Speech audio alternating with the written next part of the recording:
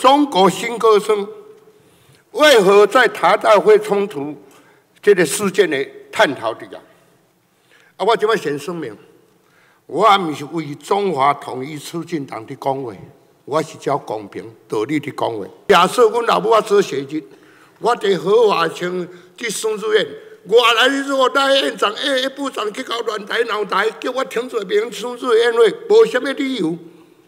我跟你讲，毋是跟他拍你，连台人都会发生。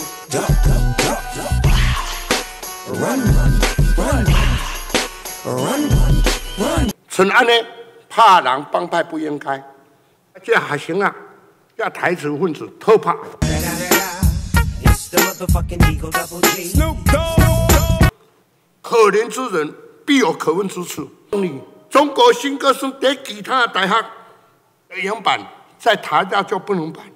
你台大是纳税人缴的钱呢，台大用最多台湾的教育资源呢，所以台大的特操场是特权贵族用的，非我族类不得进入。